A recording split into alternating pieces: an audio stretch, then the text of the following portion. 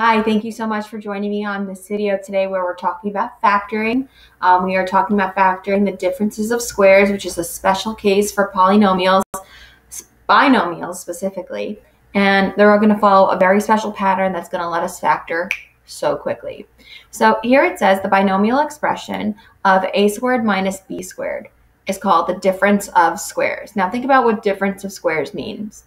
Difference is subtraction Squares, we're talking about perfect square values. So like x squared, 49, b to the fourth, because the square root of b to the fourth would be b squared. Um, 64, 100, 144. We're thinking about our perfect squares. So it's got to be a perfect square minus a perfect square. That's our differences of squares. And if we have that, we can factor it very easily. a squared minus b squared actually becomes a plus b times a minus b.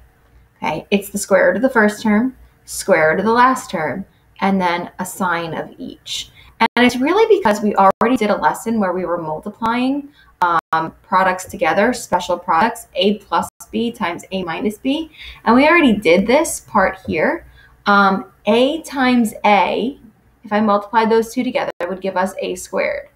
a times negative b Okay, just getting my pencil here. So a times a give us this a squared. Then a times negative b would give us negative ab. And then we'd have to distribute the positive b. So b times a is ab. And then b times negative b is that negative b squared. And what would happen is if we had these four terms, these two middle terms, negative ab and positive ab, they would end up simplifying each other out, and this is all we would have. So we actually learned what would happen with this special product, and now we're doing the opposite. We're saying if we notice that our binomial is a squared minus b squared, then hey, I can simply factor it as a plus b, a minus b. And of course, it doesn't matter. You can write a minus b first and then a plus b second. That's just our um, commutative property of multiplication. So taking a look at a few different things for differences of squares. Um, the very first thing we're going to be taking a look at is just our basic factoring if it's in this form. If it's in the form simply of a squared minus b squared. So a perfect square minus perfect square. Um, I'm just waiting for my screen to go here. Okay. So k squared minus 100. So this follows the pattern. It's a perfect square minus a perfect square. And I'm constantly going to check for that. The square root of k squared is k. The square root of 100 is 10. So my factored form is simply k plus 10, k minus 10. That's how easy it is to factor these. Because think about it. k times k is k squared. k times negative 10 is negative 10k. 10 times k is positive 10k. So a negative 10k and a positive 10k simplify each other out. And then 10 times negative 10 is negative 100. So then if k squared minus 100 is k plus 10, k minus 10, then m squared minus 36 would be m plus 6, m minus 6. 4y squared minus 121, square root of my first term is 2y. Square root of 121 is 11. So it's 12y plus 11, 12y minus 11. 16x squared minus 81. Square root of 16x squared would be 4x. Square root of 81 would be 9. So it's 4x plus 9, 4x minus 9. 64 minus m squared. Square root of 64 is 8. Square root of m squared is m. So it's 8 plus m, 8 minus m. Notice I kept it in the exact order. Okay, it's the square root of the first term, and then the square root of the last term.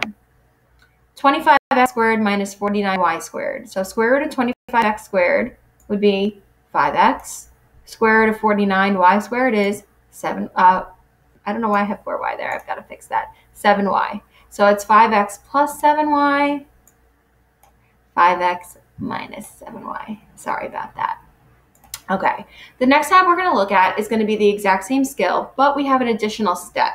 The additional step is that we really should always be looking to see if we have a greatest common factor. And the other problems that we just did, there was no greatest common factor, so we didn't have that issue pop up but for these we would. And the big indicator is going to be that it's not a perfect square minus a perfect square. So if I look at 8y squared minus 32, 8 is not a perfect square. 32 is not a perfect square. So that immediately tells me, hey, I can't do this special format. But I do notice that there is a GCF. Greatest common factor of 8y squared and 32 is 8.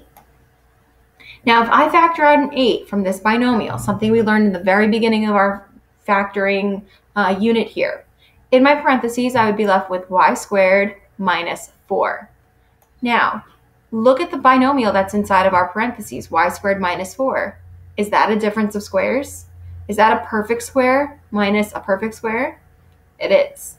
That 8 that we factored out just hangs out. Square root of y squared is y. Square root of 4 is 2. So it's y plus 2, y minus 2. Let's try the next one. Not a perfect square, not a perfect square. What's the GCF of 50 and 18? It would be 2. If I factor out a 2 from both of these terms, I'm left with 25t squared minus 9v squared. Look at what's in the parentheses. A perfect square minus a perfect square. So that 2 that I GCF factored out right from the beginning is good.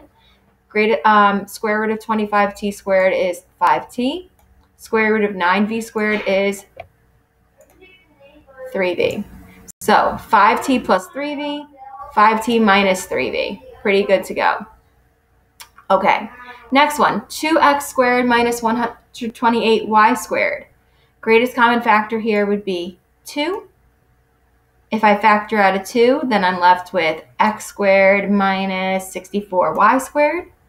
Again, notice I'm left with a perfect square minus a perfect square.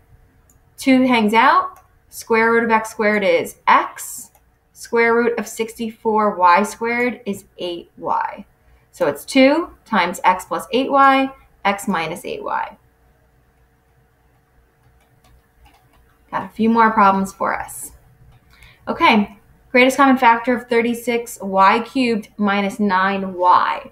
Notice there's y's in both terms. So my GCF here is actually a 9y.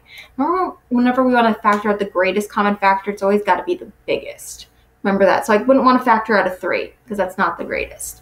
Also, I have to factor out a y because y cubed is not a perfect square. y is not a perfect square. But when I factor out a 9y, look what we're left with. 4y squared, which is a perfect square, minus 1. 9y. Square root of 4y squared is 2y. Square root of 1 is 1. So 2y plus 1, 2y minus 1. Greatest common factor of 3x to the fourth minus 48x squared. GCF of 3 and 48 is 3. GCF of x to the fourth x squared would be x to the second. I'm then left with x squared minus 16 3x squared hangs out. x squared minus 16 becomes x plus 4, x minus 4. Last one. Greatest common factor of 16m to the third minus 100m would be 4m. If we factor out a 4m, we're left with, edit this out too, 4m squared minus 25 if I have 4m squared minus 25, I'm left with 4m. Square root of 4n squared would be 2m. Just got to add in my 2's here. So 2m plus 5 and 2m plus 5. And I apologize for that, but not a big deal. Okay, square root of 4m squared is 2m. Square root of 25 is 5. Last tab are the equations. Now, you've been solving polynomial equations for binomials, trinomials when you were learning how to factor the trinomials, and now it's the same idea. Always a three-step process. Step one, set the equation equal to zero.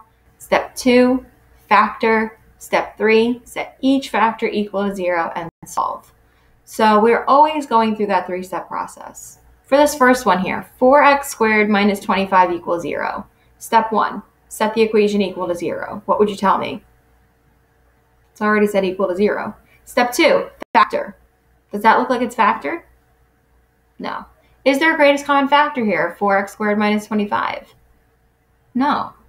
Is this a perfect square minus a perfect square? Can I factor it in that special form? Yes. Square root of 4x squared is 2x. Square root of 25 is 5. So it's 2x plus 5, 2x minus 5 equals 0. So the equation was set equal to 0 already. We factored it. And now we're setting each factor equal to 0 and solving. This is the easiest part, guys. Solving two really basic equations. We would be getting negative 5 halves and positive 5 halves. Now, what's really nice about these solutions, and it's only for difference of squares here at this time, is that we're always going to see we get the positive and negative of the same value.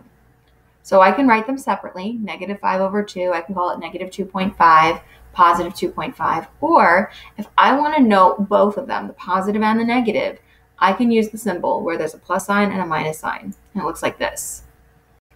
My solution is the positive and negative of 5 over 2. Something cool to try out. Let's try the next one. 16y squared equals 81. Step 1, set the equation equal to 0. We talked about it. When you set an equation equal to zero, you always send everything to the side of the highest degree as long as the leading coefficient is positive. So here we would have that, a nice positive leading coefficient of 16 as I send the 81 over. So now it's 16y squared minus 81 equals zero. I check for a GCF. Is there a greatest common factor of 16 and 81? Nope. Uh, square root of 16y squared is 4y. Square root of 81 is 9. So it's 4y minus 9, 4y plus 9. We set each equal to 0. And we're going to have that same special case happen where we get a positive and negative solution of the same value, a negative 9 fourths and a positive 9 fourths. So I can list them separately, or I can say y is equal to plus or minus 9 fourths, because that's saying I can use the positive value or the negative value.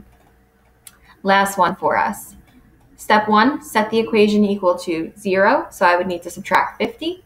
So now I have 98b squared minus 50 equals zero. Step two, factor. Is 98 a perfect square? No, 50 is not either. So that tells me there's probably a GCF here. Greatest common factor of 98 and 50 is 2. If I factor out a 2 from both of those terms, I'm left with 49b squared minus 25 keep that factor 2 out on the outside. Square root of 49b squared is 7b. Square root of 25 is 5.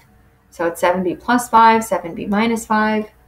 We set each factor equal to 0, and we're getting our solutions.